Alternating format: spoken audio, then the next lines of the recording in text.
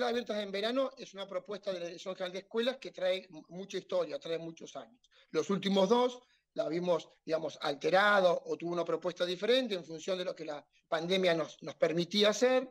Tuvo un corte muy pedagógico el año pasado, pero este año volvimos a la, a la propuesta recreativa, eh, de diversión, de encuentro, de recreación, de deporte, de espejos de agua. Así que estamos, la verdad que te decía hoy más temprano que había recorrido la, región y que, y que estaban muy contentos todos de, de, la, de la propuesta 2023. Más o menos, ¿cuántos establecimientos están abocados a esta tarea?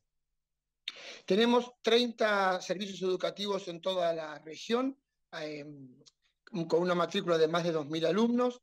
¿Con qué particularidad, Mariano? Eh, escuela abierta en verano permite la inscripción de los alumnos en todo el tiempo que dure la escuela, del 2 de enero al 27 de enero. Así que día a día vamos eh, trabajando, si es que se incrementan más alumnos, se disponen de más docentes, más profes de educación física, eh, también el tema de los guardavidas, así que es, es, es, muy dinámico. Y las sedes están distribuidas en los distritos más chicos del interior, uno por cada localidad pequeña. ¿no? Y en Bahía Blanca, estratégicamente, en seis, en seis sedes, donde hay servicio alimentario escolar y, bueno, una serie de condiciones que son escuelas eh, tradicionales en, en escuela de verano. ¿Hay en el centro o están alejados en la periferia? Lo tenemos generalmente distribuido en, hacia más, las, a, más, más hacia las afueras de la ciudad. Tenemos escuela 8, 21, 36, 70, 35 y 72. Mencionabas, mencionabas, espejo de agua, ¿los llevan a piletas?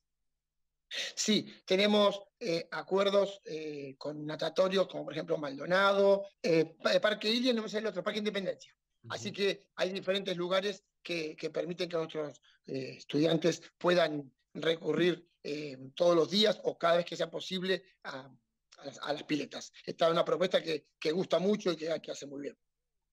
27 de enero termina, viernes 27 de enero, 28, 29 fin de semana, y luego ya iniciamos las actividades eh, en algunos servicios educativos. Para el 13 de, de, febrero tener todo el personal, los que tienen 40 días de licencia, está trabajando eh, ya en lo que marca el calendario 2023.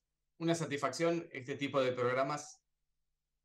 Sí, la verdad que es una satisfacción para todos los que eh, participan de la escuela de verano. Tiene dos, dos grandes características. La primera es la diversión, el compartir el juego y pasarla bien, como decíamos oportunamente, que tanto bien hace ¿no? a nuestros estudiantes, a nuestros alumnos. Y los colegas que se suman a la propuesta de verano, sabemos que han trabajado todo el año, que le ponen el hombro también en el mes de enero, que, que es una propuesta del Estado presente los 12 meses del año, los, los eh, 12 meses del calendario eh, permite que nuestra escuela llegue a todos nuestros estudiantes. Así que para mí personalmente es una alegría.